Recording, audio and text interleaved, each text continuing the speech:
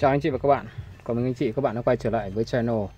Hôm nay mình gửi đến anh chị các bạn đó là một chiếc ờ, uh, bóc chuyển đổi HDMI uh, ờ, Chuyển ờ, uh, 3 đầu vào ra một màn hình.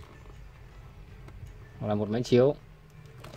Sản phẩm của Ugreen Vài 18 tháng có mã là 40234 Sản phẩm uh, sử dụng chuẩn HDMI là 1.4 Và với uh, hỗ trợ các uh, Ờ, lên đến 3D 4K 2K và 30 Hz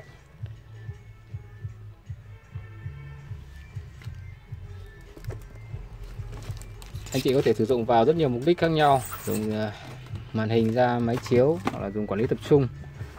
Ờ, nhiều thiết bị ra một màn hình.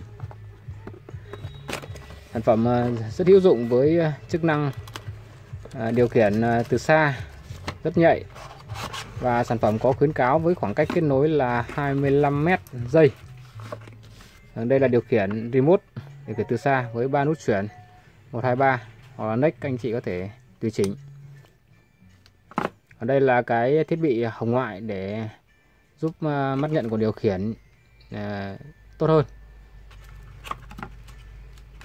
Ở đây là dây cấp nguồn, anh chị cắm vào để cấp thêm nguồn kéo dài cho sản phẩm sử dụng 5V anh chị sử dụng qua dây nguồn từ máy tính hoặc là qua các thiết bị à, sạc à, điện thoại đều được.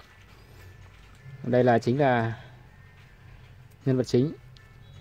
Anh chị có thể sử dụng à, nút switch ở trên select ở trên mặt của sản phẩm với các chức năng chuyển.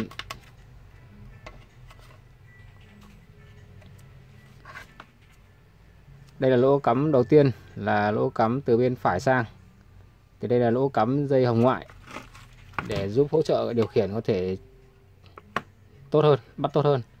Hai là 5V đây là dây cấp nguồn, qua cổng à, micro USB và ba cổng 1 2 3 đây là ba cổng input đầu vào. Anh chị có thể sử dụng cắm từ các dòng laptop, máy tính hoặc là đầu ghi camera.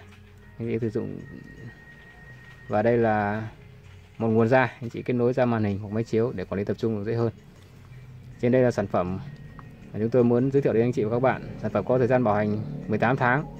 Chi tiết anh chị và các bạn gọi theo số hotline 0944 730 44 hoặc truy cập website bên dưới link miêu tả cảm ơn anh chị và các bạn đã theo dõi video. Và hẹn gặp lại anh chị và các bạn ở những video tiếp theo. Xin chào.